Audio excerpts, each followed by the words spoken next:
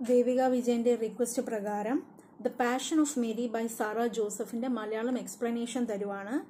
Sara Joseph അറിയപ്പെടുന്ന ഒരു നോവലിസ്റ്റാണ് short story റൈറ്ററാണ് നമ്മളെല്ലാവരും പാഷൻ ഓഫ് ക്രൈസ്റ്റ് എന്ന് പറയുന്ന സിനിമ കണ്ടിട്ടുണ്ട്. അല്ലേ പണ്ട് നമ്മൾ ചെറുപ്പത്തിൽ എസ്പെഷ്യലി എന്റെയൊക്കെ ചെറുപ്പത്തിലായിരുന്നു ആ സിനിമ അത് കണ്ട് ഈശോയുടെ വിഷമവും വേദനകളും ഒക്കെ കണ്ട് ഹാർട്ട് അറ്റാക്ക് വന്ന് മരിച്ചവർ വരെയുണ്ട് ആ സിനിമ കണ്ടിട്ട്. പക്ഷേ ഇവിടെ നമ്മൾ എന്താണ് കാണുന്നത്? Passion of Mary passion of Christ അല്ല പാഷൻ ഓഫ് മേരി നമ്മൾ എത്ര പേര് ചിന്തിച്ചിട്ടുണ്ട് മാതാവിന്റെ മനസ്സിൽ കൂടി വരുന്ന ഇമോഷൻസ് ചിന്തിച്ചിട്ട് കാണും പറഞ്ഞിട്ട് കാണും പക്ഷെ ഒന്നോ രണ്ടോ ലൈനിൽ അല്ലാതെ ഒരു ത്രൂ ഔട്ട് എ വർക്കിൽ മാതാവിന്റെ ഇമോഷൻസ് പറഞ്ഞിട്ടുള്ള ഒരു വർക്കും എന്റെ അറിവിലില്ല. സോ ഈ പാഷൻ ഓഫ് ക്രൈസ്റ്റ് സിനിമ കാണുമ്പോൾ നമുക്കറിയാം അതിന്റെ അവസാനം ഈശോ മരിച്ചു കഴിയുമ്പോൾ മാതാവ് എന്നാ ചെയ്യുന്നത് മണ്ണിലേക്ക് വീണ് കിടന്ന് പൂഴി മണ്ണിങ്ങനെ കയ്യിലെടുത്തിങ്ങനെ ഇങ്ങനെ ആ ഒരു വിഷമവും വിഷമവും വേദനയും എല്ലാം അതിലങ്ങ് അമർത്തുന്നതായിട്ടാണ് കാണുന്നത്. അല്ലേ? ആ സപ്രസിങ് പെയിൻ ഇവിടെ നമ്മൾ കാണുന്നത് സിറ്റുവേഷൻ എന്താണെന്ന് പറഞ്ഞാൽ ഈശോയെ പിടിക്കാൻ വേണ്ടി പട്ടാളക്കാർ തിരയുന്നു ഈശോനെ. അതാണ് സിറ്റുവേഷൻ അപ്പോൾ മാതാവ് വീട്ടിലാണ്. മാതാവിന് വരുന്ന ചിന്തകളും വ്യാകുലവും വിഷമവും വേദനയും ഒക്കെ ആഗ്രഹങ്ങളും ഒക്കെയാണ് വരുന്നത്. അപ്പോൾ മാതാവ് ഈ ഒരു ന്യൂസ് അറിയുമ്പം ഈശോയെ പിടിക്കാൻ പോകുന്നു എന്ന് അറിയുമ്പോഴത്തേക്കിനും മാതാവ് ഈശോയുടെ ചെറുപ്പകാലമൊക്കെ ഓർക്കുവാണ്. ആ എല്ലാ ഇമോഷൻസും അവരുടെ മനസ്സിൽ വരുന്നു. വളരെയധികം ഇടിയും മഴയൊക്കെ ഉള്ള ഒരു വളരെയധികം ഇടിയൊക്കെ വെട്ടുന്ന ഒരു പർട്ടിക്കുലർ രാത്രിയാണത്. വളരെ ഭയാനകമായിട്ടുള്ളൊരു രാത്രിയാണ്. മാതാവ് എന്തെങ്കിലും ഒരു കാലൊച്ച കേൾക്കാൻ വേണ്ടി കൊതിക്കുന്നു. ഈശോയുടെ കാലൊച്ച കേൾക്കാൻ വേണ്ടി കൊതിക്കുന്നു. മാതാവിനറിയാം ഈശോ ജനിച്ചിരിക്കുന്നത്. ഈശോ ഈശോ ജനിച്ചിരിക്കുന്നത്. നമ്മൾ പണ്ട് സ്ക്രിപ്ചറിലുണ്ട് മാതാവിന്റെ ഹൃദയത്തിലൂടെ ഒരു വാൾ തുളച്ചു കയറുമെന്നുള്ളത്. അത് അന്വർത്ഥമാകുന്നത് ഈശോ മരിക്കുമ്പോഴാണ്. മാതാവിനറിയാം ദൈവത്തിന്റെ പദ്ധതിയാണ്. ഈശോ ജനിച്ചതും ദൈവത്തിന്റെ പദ്ധതിയാണ്. ഈശോയ്ക്ക് എന്തൊക്കെ സംഭവിച്ചാൽ അതെല്ലാം ദൈവത്തിന്റെ പദ്ധതിയാണെന്ന് അറിയാം. ദൈവത്തിന്റെ പദ്ധതിക്ക് വേണ്ടി വിട്ടുകൊടുത്തിരിക്കുവാണ് മാതാവ് ഈശോനെ. പക്ഷേ ഒരമ്മയല്ലേ? ഒരമ്മയല്ലേ? അപ്പം മാതാവിന്റെ മനസ്സിൽ ചിന്തിക്കുവാണ് ഒരിക്കലെങ്കിലും അവൻ തിരിച്ച് വീട്ടിലൊന്ന് എത്തുവാണെങ്കിൽ ഞാൻ ഇങ്ങോട്ടും വിടുകയില്ല എന്ന് ചിന്തിക്കുവാണ്. മാതാവിനെ അറിയാം ഇത് ജെക്സ്റ്റാ പോസിംഗ് ആണ് ജെക്സ്റ്റാ പോസിംഗ് എന്ന് പറഞ്ഞാൽ എന്താ? നിങ്ങൾ ഈ വാക്ക് ഉപയോഗിക്കും. Juxtaposing J U X T A P O S I N G. Juxtaposing എന്ന് പറഞ്ഞാൽ ഓപ്പോസിറ്റ് ആയിട്ടുള്ള കാര്യങ്ങളെ ഒരുമിച്ച് പ്രസന്റ് ചെയ്യുന്നു. ഒരു സൈഡിൽ ദൈവത്തിന്റെ ഇഷ്ടം മറു സൈഡിൽ അമ്മയുടെ മനസ്സ് അമ്മയുടെ വേദനകൾ.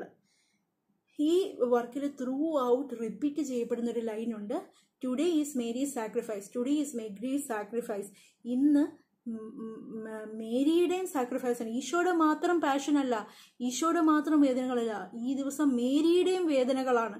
മേരിയുടെ ഹൃദയത്തിൽ കൂടി ഒരു വാൾ തുറച്ചു കയറുന്ന ദിവസമാണ്. ഈ ഒരു line today is Mary sacrifice എന്നുള്ളത് പലതവണ റിപ്പീറ്റ് ചെയ്യപ്പെട്ട് ഈ സ്റ്റോറിക്കകത്ത് പറയുന്നുണ്ട്. മാതാവിന്റെ സ്വപ്നത്തിൽ ഈശോ ഒരു റെഡ് മേലങ്കി ഒരു ചുമന്ന മേലങ്കി ധരിച്ച് നിൽക്കുന്നതായിട്ട് കാണുന്നുണ്ട്. നമുക്കറിയാം പീലാത്തോസ് ഈശോയെ ജനങ്ങളുടെ മുമ്പിൽ പ്രസന്റ് ചെയ്യുന്നത് ഒരു ചുവന്ന മേലങ്കി ഇട്ട് മുൾക്കിരീടം വെച്ച് ദേഹവാസകലം മുറിഞ്ഞൊരു ശരീരമാണ്. പക്ഷെ മാതാവിന്റെ സ്വപ്നത്തി മാതാവ് കാണുന്നത് ഈശോയുടെ ഈശോ ഒരു ചുമന്ന മേലങ്കി ധരിച്ച് നിൽക്കുന്നതാണ്. അപ്പം മാതാവിനെ മനസ്സിലാകുന്നു എല്ലാവരും അറിയുന്നു എല്ലാവരും ഈശോനെ പടയാളികൾ സെർച്ച് ചെയ്യുവാണെന്ന് അറിയുന്നു. അവരുടെ വിഷമത ഒക്കെ. അവസാനം ഈശോ മരിച്ചു കഴിയുമ്പോഴാണെങ്കിൽ പോലും മാതാവ് ആ ചുമന്ന മേലെങ്കിൽ തന്നോട് ചേർന്ന് ചേർത്ത് വെക്കുന്നു. സ്ക്രിപ്റ്ററിനകത്ത് പറയുന്ന ആ മേലങ്കി അവർ ലൈക്ക് അദ്ദേഹത്തിന്റെ തുണിയെല്ലാം അവർ കീറി മുറിച്ചെടുത്തു. മേലങ്കി അവർ മറുക്കിട്ട് ഒരാൾ എടുത്തു എന്നാണ് കാണുന്നത്. ഇതിനത് പറയുന്നത് അമ്മമാർ ആ അമ്മയ്ക്ക് എങ്ങനെ ഉറങ്ങാൻ സാധിക്കും? തന്റെ മകനെ പിടിയും തന്റെ മകനെ ഉപദ്രവിക്കും എന്ന് പറയുമ്പോൾ ആ അമ്മയ്ക്ക് എങ്ങനെ ഉറങ്ങാൻ സാധിക്കുന്നു? അമ്മമാർക്കൊന്നും ഒരിക്കലും ഉറക്കമില്ല. കാരണം എന്നാണ്? അവരെപ്പോഴും അലേർട്ടായിട്ടിരിക്കുവാണ് മക്കളെ ഓർത്ത് മക്കൾക്ക് വേണ്ടി മക്കളെക്കുറിച്ച് വ്യാകുലപ്പെട്ടുകൊണ്ട്. നമുക്ക് ആരും ആരും ആരും എവിടെയും ഒരു വർക്ക് എഴുതിയിട്ടില്ല. മാതാവിന്റെ വേദനകൾ എന്തൊക്കെയായിരിക്കും മാതാവിന്റെ മനസ്സിൽ വന്നത്? ഒന്നും വരെ ഒരു മനുഷ്യ സ്ത്രീയല്ലേ? അവരുടെ മനസ്സിൽ എന്തൊക്കെ വേദനകൾ വന്നതെന്ന് കാണുന്നില്ല. കുരിശിന്റെ വഴി പോലും പറയുന്ന അമ്മയുടെ ഹൃദയ വിങ്ങിപ്പൊട്ടുന്ന രണ്ട് ഹൃദയങ്ങൾ നാല് കണ്ണുകൾ എന്നൊക്കെ പറഞ്ഞ് നമ്മൾ കാണുന്നു. ഏഹ് അപ്പോൾ അങ്ങനെ കാണുന്ന ഒന്നോ രണ്ടോ ലൈൻ അല്ലാതെ ഒരു മാതാവിന്റെ ഇമോഷൻസ് ത്രൂ ഔട്ട് പ്രസന്റ് ചെയ്യുന്ന ഒരു വർക്കും ഞാൻ ഇതുവരെ കണ്ടിട്ടില്ല. നിങ്ങൾ കണ്ടിട്ടുണ്ടെങ്കിൽ പറയുക ഞാൻ കണ്ടിട്ടില്ല. അപ്പോൾ അങ്ങനെയുള്ളൊരു വർക്കാണ് passion of Mary by Sara Joseph ഇത് നിങ്ങൾ ജസ്റ്റ് സമ്മറി മാത്രം കേട്ടിട്ട് പോയി പരീക്ഷ എഴുതരുത്. നിങ്ങൾക്കറിയാലോ ഞാൻ ഞാൻ തരുന്ന എല്ലാ വീഡിയോസും ആക്ച്വലി ഇത് സത്യം പറഞ്ഞാൽ എന്റെ സ്റ്റുഡൻസിന് വേണ്ടി തുടങ്ങി വെച്ചൊരു പരിപാടിയാണ്. ഇതിന് ഇത്ര വ്യൂസ് കിട്ടുന്ന ഒന്നും കരുതിയതല്ല. അവർക്ക് കൊടുക്കാനൊരു മാധ്യമം എന്നുള്ള രീതിയിൽ ഞാൻ തുടങ്ങിയ ഒരു ചാനലാണ്. അപ്പോൾ ഫേസ്ബുക്കിന്റെ ലിങ്ക് ആദ്യം ഫേസ്ബുക്കിലായിരുന്നു. ഫേസ്ബുക്കിലെ ലിങ്ക് ഇങ്ങനെ പിള്ളേർക്ക് കൊടുക്കും. എല്ലാ പിള്ളേർക്കൊന്നും ഫേസ്ബുക്ക് ഇല്ലല്ലോ.